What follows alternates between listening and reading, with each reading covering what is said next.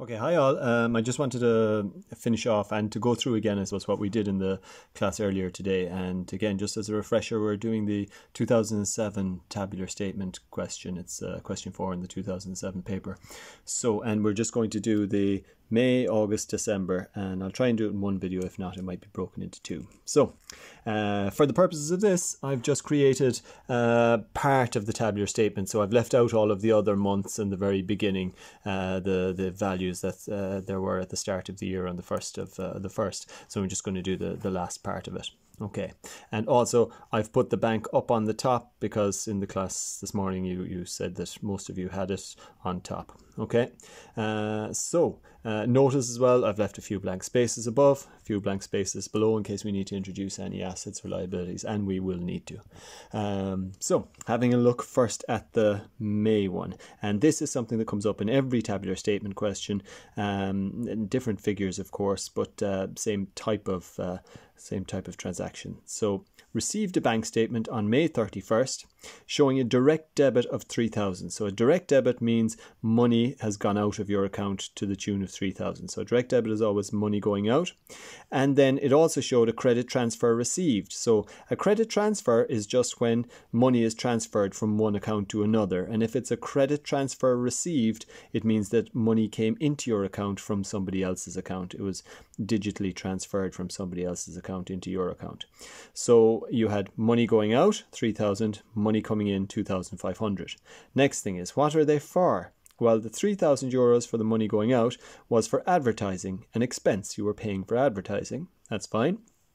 The credit transfer received, the money coming in, was to cover 10 months' rent in advance. Now, if it's um, if it's uh, money you're getting for rent, it means that you are actually renting out a part of your um, of your premises to somebody as opposed to the rent that you would pay an expense. This is actually a gain, um, this um, rent receivable, we call it. Okay, so money going out for advertising, money coming in for uh, rent. Now, um, first thing we'll do is we'll deal with the money going out for advertising the 3000 so this is how i'd like you to approach it i'd like you to take the easy part of it first which is uh, if you paid 3000 euros out uh, then your bank goes down by 3000 that's as simple as that so what i'm going to do is i'm going to put a minus 3000 in the bank in the may column but um, I, as I explained earlier, uh, I'm going to put um, two figures into the one box here. So I'm going to leave it up kind of high to leave room for another figure to go in. But it's 3,000 going out, so minus 3,000 from my bank. Okay. Uh, then the uh, to balance that, I suppose, we need to put in another figure somewhere else here. Uh, uh, along along here. Now we need to figure out first of all what is the 3000 for. The 3000 was for advertising, which is an expense. So that's the first thing. The next thing we need to figure out is um, what uh, after having paid that 3000 what uh, will it the advertising look like at the end of the year on the 31st of the 12th. So, in other words, um, we look at it's 3000 you pay to cover advertising for the year ended 31st of the 5th 2007 well the thing is your tabular statement is just up until the end of 2006 so if you're paying advertising into 2007 it means at the end of 2006 last day of 2006 you should have advertising prepaid for next year because you have paid some for 2007. And we know you need to figure out what is advertising prepaid. Well, it's an asset, isn't it? In which case it must go in up here. Okay, so advertising prepaid. Okay, so the next thing we need to figure out is um, what am I going to put in here, which along with this here is going to mean that I would have the same total above as I would have below because the totals must be the same all the time. And I suppose I should say as well is that it's going to be 3000. It's always going to be the same figure because it was 3000 for advertising. All you need to figure out is am I putting in a plus 3000 or a minus 3000. So if you uh, if you uh, put in let's just see what would happen if you put in a plus 3000 here you'll have minus 3000 plus 3000 your total will be 0 and down here, because you've nothing put in, your total would be zero. So that would work out perfectly. So a, plus 3000 would work. But just let's test and see if you put in a minus 3000 here, what would you get? Minus 3000 minus 3000 is minus 6000 here. And you have a total of zero down here, so that wouldn't work. So it must be plus 3000 in here. Okay, now the next part of it is it's uh, credit transfer received. Money came into your bank account to the tune of 2,500. So let's do the easy part first. That means your bank account has gone up by 2,500 because you got 2,500 euros in. So we're going to put it in the bank here, 2,500 as a plus because it's your bank account is going up by that amount. Now, the one thing to say is if you were looking at the solution online, okay, you would see uh, that the uh, they don't have both figures in like we do. It's fine to put in the two figures, but they may just have, instead of putting in minus 3 and plus 2,500, they may have added these two together, and a minus 3,000 plus 2,500 would give you a minus 500. So if they had their bank up here, they may have put in just minus 500. If they have their bank down here, which they do, I suppose the Department of Education solution has the bank down here, they will have a plus 500 because even though in total your bank is going down by 500 because it's an overdraft the overdraft is going up by 500 so uh, your solution uh, in the in the online that you'll see from the Department of Education will have bank down here plus 500 but this is perfect as well. Nothing wrong with that. You as I say bank is the only one that you're allowed to either put up or uh, up above or down below so now back to our um, bank, we put in the plus 2,500. Now what I'd like you to do is imagine that that minus 3,000 and plus 3,000 isn't there. And all we're dealing with at the moment is this plus 2,500 in the bank. Right, let's figure out first where is the other entry going to go with that 2,500? Well, it was credit transfer received for 2,500 to cover 10 months rent in advance from May the 1st. Okay, so you need to work out what is it going to look like? What's the rent receivable uh, situation going to look like at the end of the year? Well, 10 months in advance from May 1st, again, I would just use my fingers here and I would say uh, that's paying for all of May, June, July, August, September, October, November, December, that's just eight, January, February. So you're going to be paying for two months of next year. So if that's the case, then you are going, or sorry, you're not going to be paying, you're going to be receiving money or you have received um, money for rent for next year. So that's money that was paid in advance to you for next year. So on the 31st of the 12th, somebody will have paid you in advance for January and February of 2007. So at the end of the year, you will have rent receivable prepaid, which we know is a liability. Okay, so we don't have it down here already, so we have to uh, include it. So rent receivable prepaid. Okay, so that just tells us we need to put something in here and now, as I said, imagine that 3000 isn't there and the minus 3000 is there, and you just have this 2500 up here. What would I need to put in here to make the total on the top be the same as the total on the bottom? Well, if these two weren't here, then the total on the top would be plus 2500. And the only way to get that is on the bottom is to put plus 2500 in here. And again, like I said, really all you're doing with these ones is you're trying to figure out is it a plus or a minus 2500 we're putting in, and in this case a plus. And then if we total it up, well, everything in here just adds up to 2500. The three of these together add up to, well, the plus 3 and the minus 3 cancel, and you've got 2500 and that's May done. Now, there's that's not a lot of thinking done there because there is more to be done with that May entry.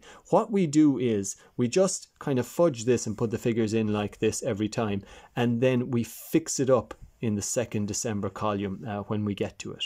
Okay? So I'm going to do a little bit more. I think I'll definitely have to break this into two videos. But the next part then is um, August. It says a payment of 700 was received from a debtor whose debt had previously been written off and who now wishes to trade with Harris Limited again. So we'll do the easy bit first again. A payment of 700 euros was received. If we received 700 euros, our bank account goes up by 700 euros. As simple as that. So in the bank section, we put in a plus 700 in August. Okay, we've got 700 more euros in our bank account. Perfect. Now it says uh, that that 700 euros represents 70% of the original debt. So what we're saying is this debtor here, this person, owed us money and uh, they couldn't pay us and they uh, declared bankruptcy. We wrote off that debt and we said, oh, they're, they're never going to pay us. They're bankrupt. We'll just write that off as a bad debt. And then suddenly, maybe they came into some money for some reason and they decided to start trading again. And we're not obviously going to be trading with them again if they're, you know, they owed us money and they couldn't pay us last time. So the only way we'll start trading with them again is if they pay us that old debt that they owed us. And they said, look, here's 700 euros. It's not the full amount, but if you'll take that, which is 70%, and we'll pay the rest of you of the debt, it says in February 2007, next year. Okay, so 70% is 700. We could do our little calculations, you know, divide 700 by 70 and multiply by uh, 30 to get the other 30%, and we would see that it was 300. So the debt in total originally was uh, 1,000 euros. So if the other amount that they said they'd owe us is 300 euros, well, when somebody owes us money, we call them a debtor, isn't it? So a, our debtors figure really is just uh, the total amount of uh, all the money owed to us by the different debtors. So if they if there's another person coming to us and say, "Look, I owe you an extra 300," then our debtors should go up by 300. Okay? So on the top in total we've got 1000 and on the bottom to balance or to get the same total in the profit and loss we put in a thousand. 1000 and uh, what I should say is if this were a trading profit and loss it would go into the trading profit and loss account as a gain and we would call it uh, bad debt recovered you know somebody who came back and paid off their bad debt it would be a gain. So it would be a, a plus in the profit and loss. It would increase the size of our net profit. Uh, but another way of looking at it is look we have gained a thousand euros from this guy coming back to us. We've gained 700 euros in cash and we've gained this asset this extra 300 euros in debtors which is an asset. So we're better off to the tune of a thousand euros after this person coming back to us. So that's that. Then the next one is December. Now, as I say, I have two December columns. One, the first December column is just so that we can do this December here. And the second column over here is going to be so that we can sort out May properly because we didn't, uh, we were not finished with it just yet. So looking at the question, it says, in December, the building's depreciation charge for the year is 2% of book value. The depreciation charge should be calculated from date of valuation and date of purchase. The total depreciation charge on vehicles for the year was 20,000. So we'll start with the easy one. They tell us what the depreciation on vehicles for the year was, so we don't have to calculate it. So we'll put that in first. So our depreciation on vehicles was 20,000. So we go to our uh, vehicles depreciation line and we're going to increase our aggregate depreciation by 20,000. But the thing is, if we want to increase depreciation, since we write depreciation as a minus up here, to make it a bigger minus, if you like, um, not very mathematically sound saying it like that, but if you want to make it a bigger minus, we have to put in uh, the annual depreciation as a minus 20,000 there. Okay, now what we do to balance that is we go down to the profit and loss. Where is it? Profit and loss here. And we also put, and again, because we're going to have two figures in this profit and loss, we put in a minus 20,000 so that we'll have the same total, if you like, minus 20,000, minus 20,000 so far. And the reason we put it into the profit and loss as a minus, well, we know that annual depreciation, the yearly depreciation, if you like, on um, fixed assets goes into the profit and loss account as an expense. It goes in in the less expenses part of the um, profit and loss account, doesn't it?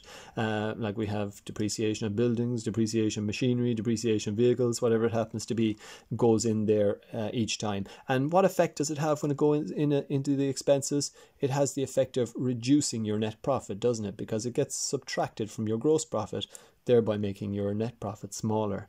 So uh, this putting in a minus 20,000 here makes sense from that point of view, but also from the balancing your tabular statement point of view.